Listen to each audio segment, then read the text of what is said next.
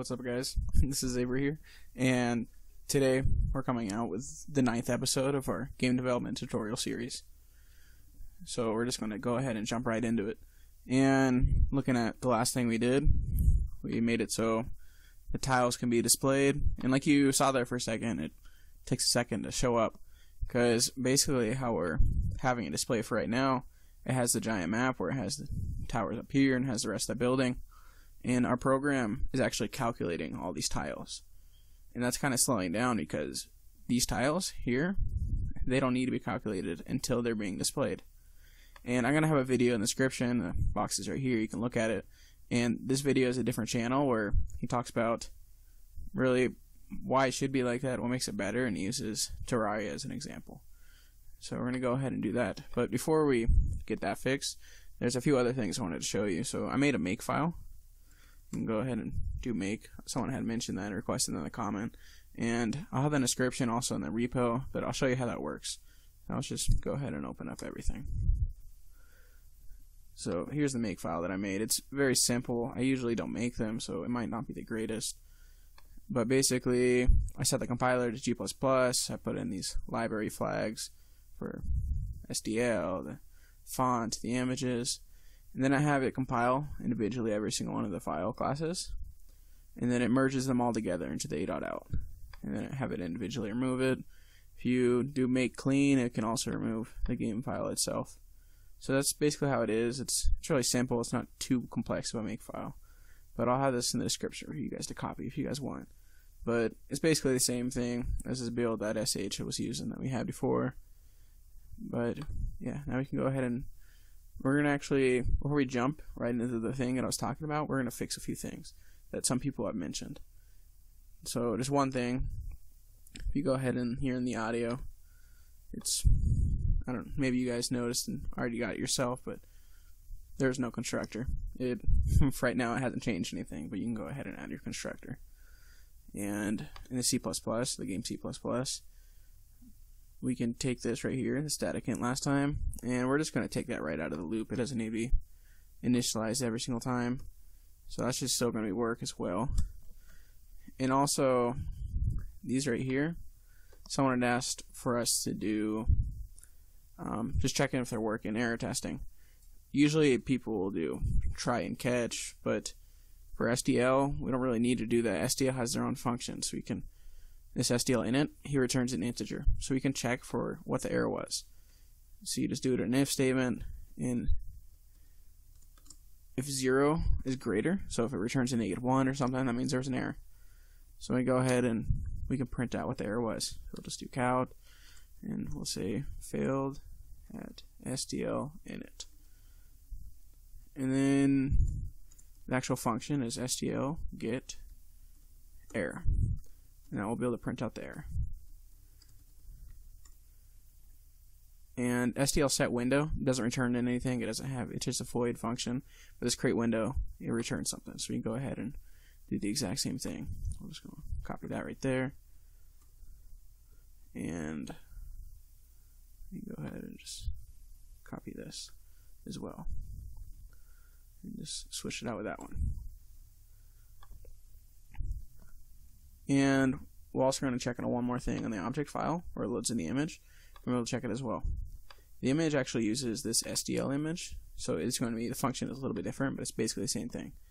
But what we're going to want to do, make it simple, we'll just set the surface image, and then we'll be able to do an if, we'll check if it works, and then else if it, well, here we'll check if it's failing.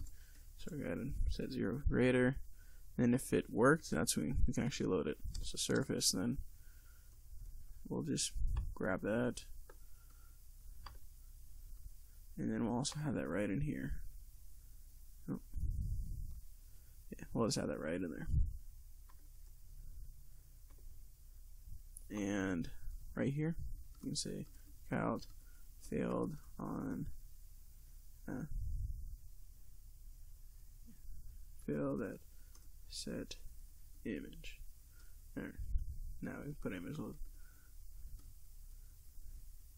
And then because it's in the image SDL library, you can do image get error. inline. And now we can go ahead and make that just to make sure everything's working. And got rid of this. so let me semicolon, copy that on accident. Yeah, this should be working. Okay, so now we're going to get into the actual code that I mentioned in the beginning. So let's go ahead and save these, close that. And so the first thing we want to be doing is in the object file. So, like I had mentioned, we uh, we can look at the map, the level. Every single one of these is a tile. This is one of the tiles, but many of these tiles up here, they're not being displayed yet. It's just displaying some of these below. So we want to check is where the position of every single one of these tiles, if it's inside the window. So imagine if this right here is the window, this is the X, and there's the Y. We can calculate for anything that's out there, anything out there, and we just won't draw those. We don't need to load those. So how we're going to do that, we're going to have a location for our map, what's being displayed on the screen, an X and a Y. And we're also, these have a destination and a render location, like that's in the object file. And we just need a way to be able to set and load the render. So we'll be able to move them around. So right here, we'll just do void set dx enter x and void set dy enter y. So this is also, we're going to make it so we can move around the image. So once it's only displaying what we want it to display, it's also going to be able to scroll around because you don't want to stay in the exact same part the whole entire time. And we don't need to set the width and height every time, so we can just do set destination int x and int y. Now we can go ahead and define these functions in the C++ file. So right here, go ahead and just copy that one. It'll just get rid of the width and the height.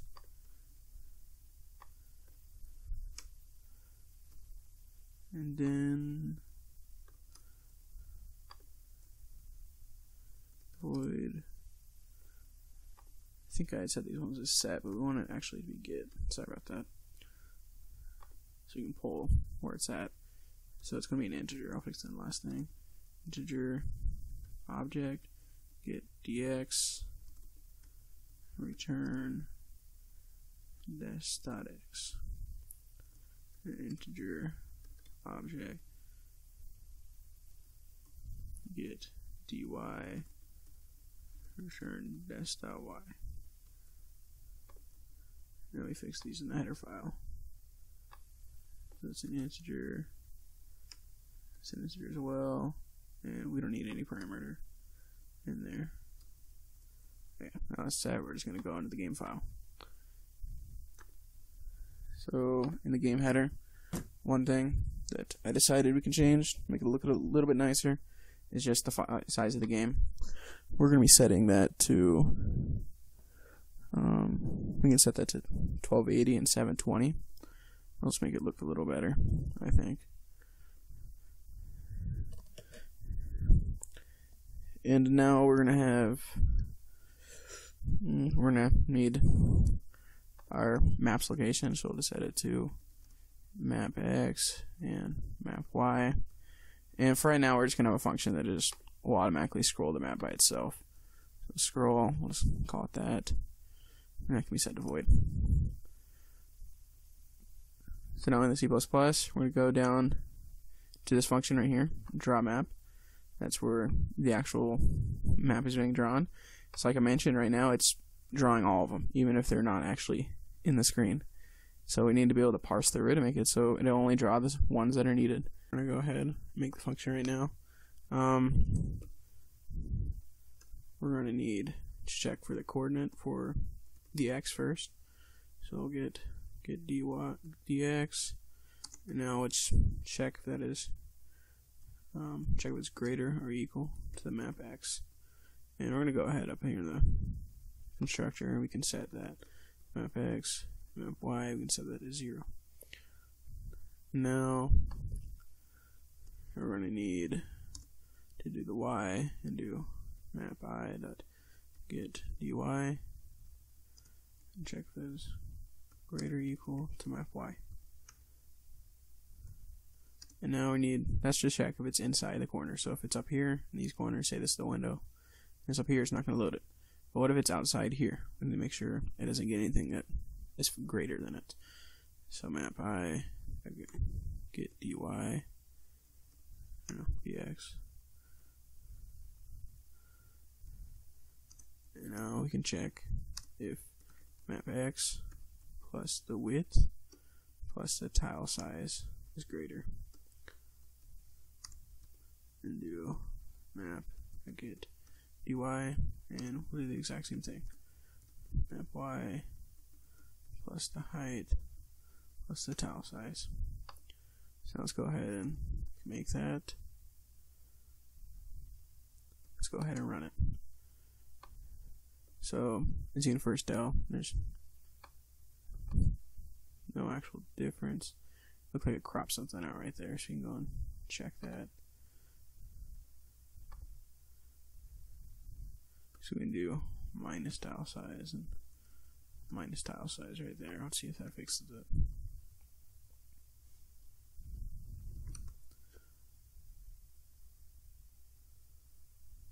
Okay, yeah, fixes it. Alright. And show that's actually working, if you do minus 100 and actually, where did you plus 100 on these ones? And there's not really anything on the right side of the screen, so it won't make too much of a difference on that side, but you'll be able to see on the other corners. And you'll show that this will crop out some of the stuff.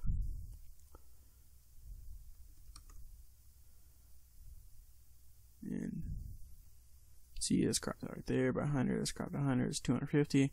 It's technically 250 right here that's not loading, it's just not showing anything. So can get rid of that. And now that we've got that made, we're going to go ahead and make our scroll function. So, game scroll. So right now, this is just going to be just to show it to you guys how it works. We're going to be changing some of the stuff. This will just be scrolling diagonally by itself. So we can actually go ahead and copy this, throw that in there, and we don't need to have the draw. We're going to have it move. So let's do map I, and then set destination. Now, you can even set in here speed. Mm, maybe the speed will be set in here. And speed. And for now, you can let's try setting our speed to 1. So now what I want to do is map i that get dx plus speed oh, no, plus speed, and then map i dot get dy plus speed. Now we should be able to run that, and we'll see that it'll be scrolling diagonally across the map. So let's check this out. There's an automatic scrolling. Um, it's kind of cropping out right there. I'm not we can look at the map file to make sure there's actually something there. It looks like it's right here. It's five. Should be something there. Let's reverse that to see if it is on both sides.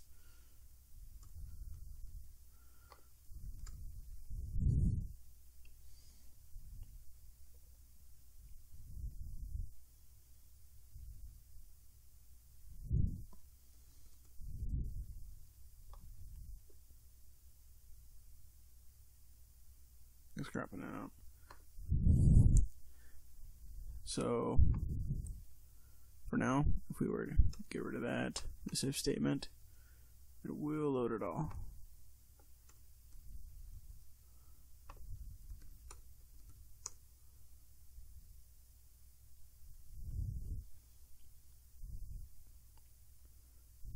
Now you can tell it's scrolling through and it's, it's loading it all. And plus. Yeah, sorry about that. I didn't mean to copy that. I only need to copy this part.